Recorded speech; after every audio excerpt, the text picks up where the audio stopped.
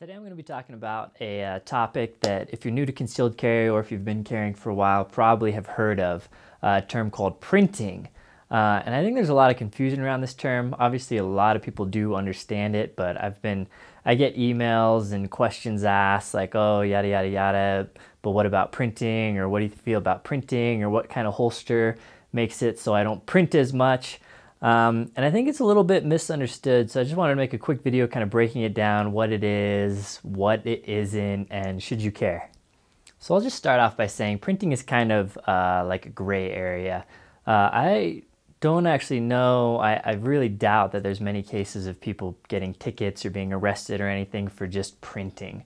Um, if they do get arrested, it's probably in conjunction with like some other things, but printing by itself is kind of like eh, I don't care. I personally don't care about printing at all.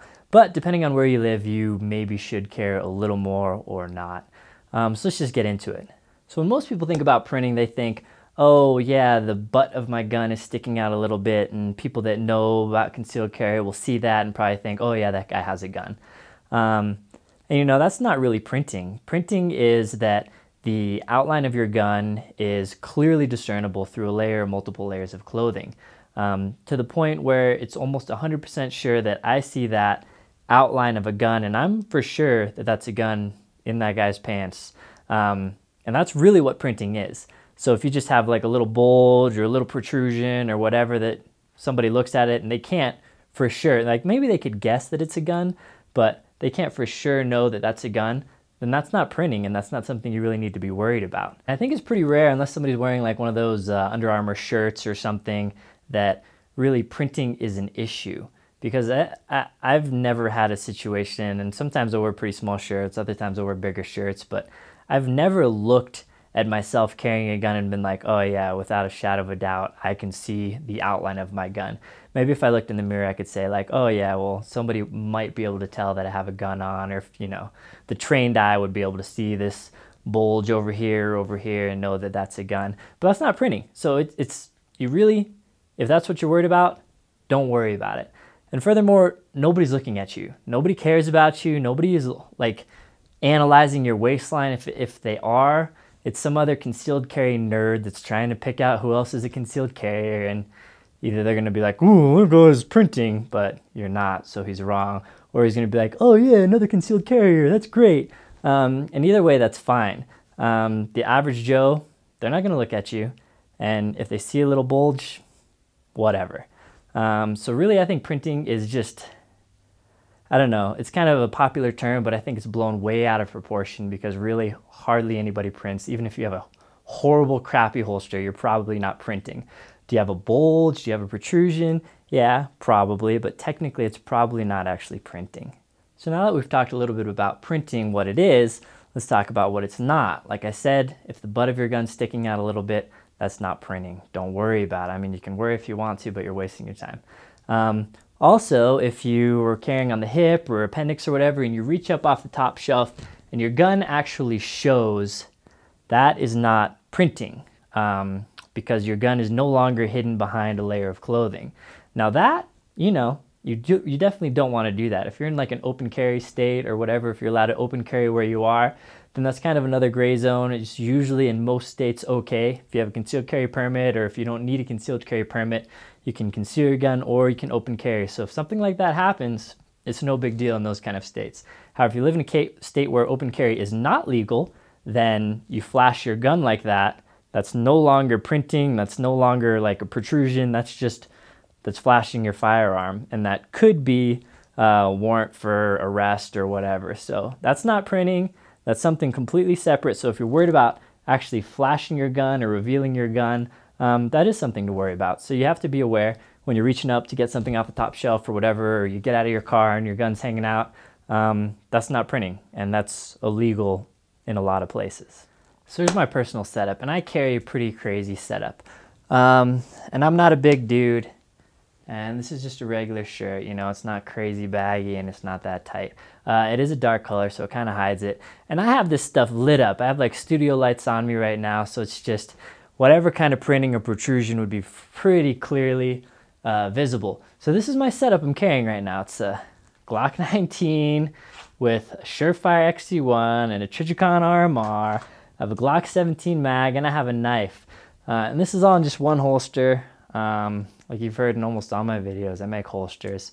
Uh, you probably haven't seen this setup, or maybe you have actually. I've been toying with knives as part of the holster um, quite a bit, and it's kind of uh, curved towards the body. So this, you know, minimizes printing or protrusions or whatever quite a bit.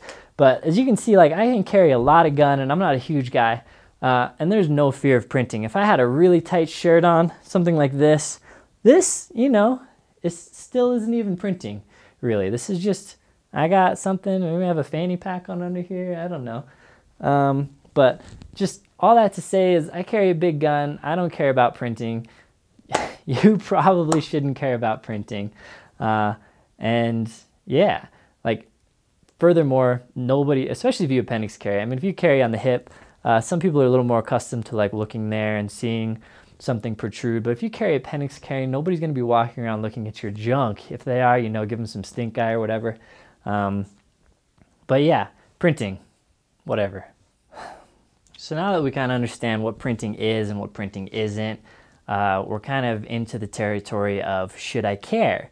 Uh, should I care legally? Should I care personally? Should I care tactically? Um, and that's kind of a, a vague question and one you'll probably have to answer for yourself, but I'll kind of help answer it a little bit and steer you in the right direction. Um, so, should you care from a personal or tactical type mindset? Uh, because you know the concealed carrier wants to be a very gray man, wants to be very discreet, wants to get a jump on somebody, whatever. Uh, I'm not that gray man, honestly, but obviously I, I, understand the concept and there's a lot of merit to it. Um, so concealed carrying, you don't want people to know you have a gun, otherwise you might as well open carry, right? Yeah, that's kind of the the general thought. Um, so if you're worried about printing or even like having your gun protrude a little bit, then yeah, to be completely tactically sound, um, if you're worried about somebody like looking you, scoping you out, like if you're at a restaurant and you think somebody's going to be looking at everybody, uh, they're not. Um, even a robber, they're they're not. Nobody's going to be looking at everybody, so just quit worrying. But if you want to worry about it, uh, that's fine. Uh, and then you might want to worry a little bit more about uh, printing or not printing or not having any protrusion uh, in which case you want to look for a holster that helps accommodate that, or you want to wear clothing that helps accommodate that. So, like I've mentioned in some other videos, like black shirts are kind of the best way to hide printing, hide shadows, hide protrusions, all that stuff. Um, furthermore, you might want to up your shirt size and uh, quit wearing that shirt that's way too small for you. That helps with printing a lot too. Um, but if you're worried about like the legal side of it, most places printing is not really illegal. It's kind of maybe frowned upon, but almost all places where open carry uh, and concealed carry is legal and you're legally allowed to conceal carry, printing isn't illegal. So you don't have to worry about it. Um, you know, I'm not a lawyer and I'm not telling you, oh, yeah, when you get arrested, tell them that this guy on YouTube told you that printing isn't illegal. Uh, I would check with your sheriff's office or whatever to see if it's legal in your municipality if you're worried about it. But most places where open carry is legal and concealed carry is legal, uh, you don't have to worry about printing. So, legally, check out for yourself, but you're probably fine. So, the only the only thing that I would ever worry about with printing, and again, like I said over and over again, it's very rare to actually print um, because it's pretty hard to like have a clear, clear outline of your gun that somebody can look and be like, that is for sure 100% a gun. It's not a cell phone, it's not a knife, it's not a flashlight, it's not a boner, whatever. Uh, so it's, it's very rare for people to actually print. Um, but you know, if you're worried about some idiot somewhere, if you're in a very like anti-gun place, you may want to try and conceal a little more because there's nothing stopping that person from calling the cops on you. There's no, nothing stopping that person from making a big fuss about it. Uh, so even if you're not printing, even if they just like they see that you're wearing a gun shirt and they see that you look like a gun guy and they see like maybe something sticking out that's not actually printing, but in their mind it might be printing because hardly anybody knows what printing actually is. They might call the cops on you and say you have a gun. Um, furthermore, if you're carrying in a place that you're not supposed to carry, um, like myself, I may or may not carry on places where I'm technically not supposed to carry.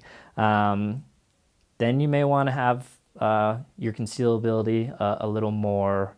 You may want to be more in tune with how concealed your gun is because even if you're not fully printing, if you're giving off signs or there's enough sign for somebody to suspect that you may have a gun and you're in a gun-free zone or something like that, um, then you'll want to try and cover it up because even if technically you're not printing, you may be carrying illegally, and I'm not telling you to do that either. But there are situations where you might be a little more concerned about printing or protrusion. So yeah, I hope that helps clear things up a little bit. Uh, if you're one of those people that was really concerned about printing and oh my goodness, I can't like even have the butt of my gun show like a little bit. Uh, hopefully I uh, eases your worries a little bit because uh, printing is something that I don't, I don't worry about at all. I don't think about, I don't care about. Um, do I want to keep my firearm concealed? Of course I do because I'm concealed carrying in the first place.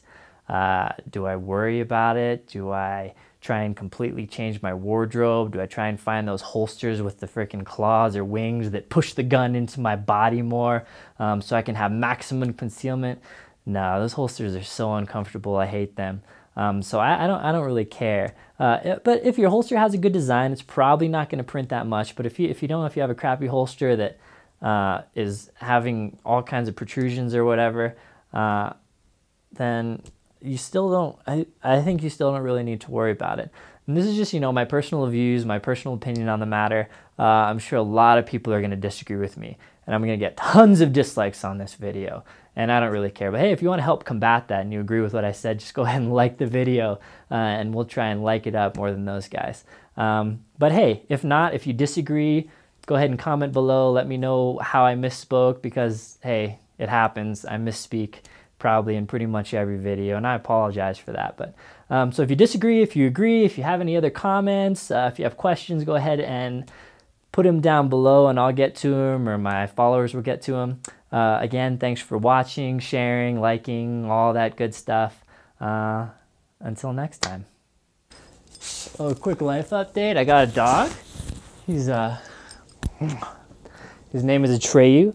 Uh, not the band from uh, Neverending Story. I don't know if you care about these life update things. Let me know in the comments because maybe uh, nobody cares and, and, I won't do them and I'll save everybody's time. But he's a shelter dog. Um, they told us he was a German Shepherd Husky, but I think it was total bull and I think he's just kind of like some random mutt.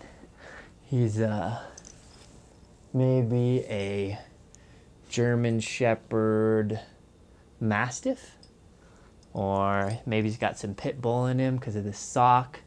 I'm not really sure, but his name is Atreyu, and he's the newest member of our family, uh, and he's a little four-month-old puppy. Do you have a dog? Let me know in the comments what kind of dog you have and what kind of sweet accessories I should get for my dog. Like, I got a multicam black collar, but maybe I need some kind of sweet harness and other gear. Uh, let me know and link to them because I don't know. Before this, all I had was a little uh, Pomeranian Chihuahua.